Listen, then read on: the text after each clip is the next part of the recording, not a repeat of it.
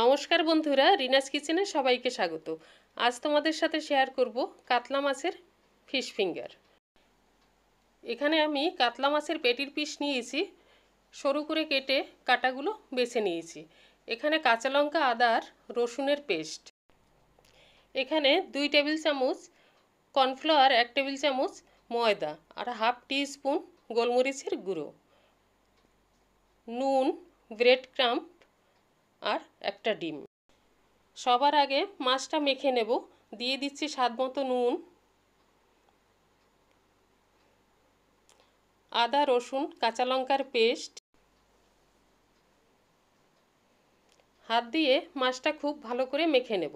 দিয়ে দিলাম হাফ লেবুর রস। মেখে মেরিনেট হওয়ার জন্য পনেরো মিনিট রেখে দেব। আর এখানে ব্যাটারটা তৈরি করে নেব।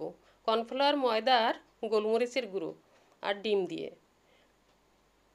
দিয়ে দিচ্ছি একটা ডিম।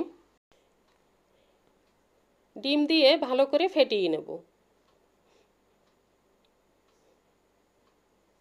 ডিমটা ফেটানো হয়ে হয়ে গেলে দিয়ে দেব সামান্য জল, ব্যাটারটাকে একটু পাতলা করার জন্য।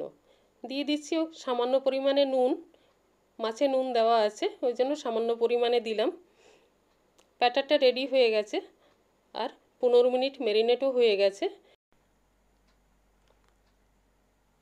এবারে মাছটা ব্যাটারে ডুবিয়ে ডবল কোট করে নেব।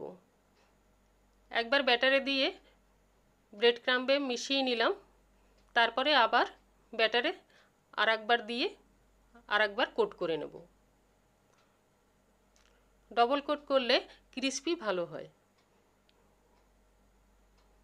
দিয়ে আবার ব্রেড ক্রাম্বে ভালো করে মিশিয়ে নিলাম।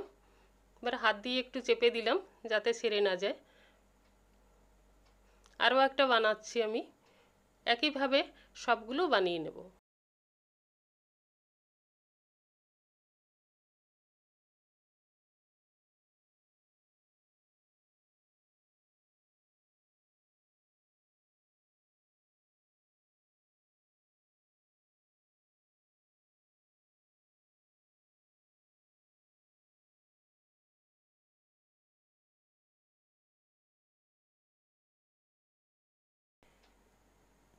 সবগুলো বানানো হয়ে গেছে। গ্যাসে কড়াইয়ে সাদা তেল গরম বসিয়েছি। গ্যাসের ফ্লেমটা মিডিয়ামে রেখে গোল্ডেন ব্রাউন করে ভেজে নেব।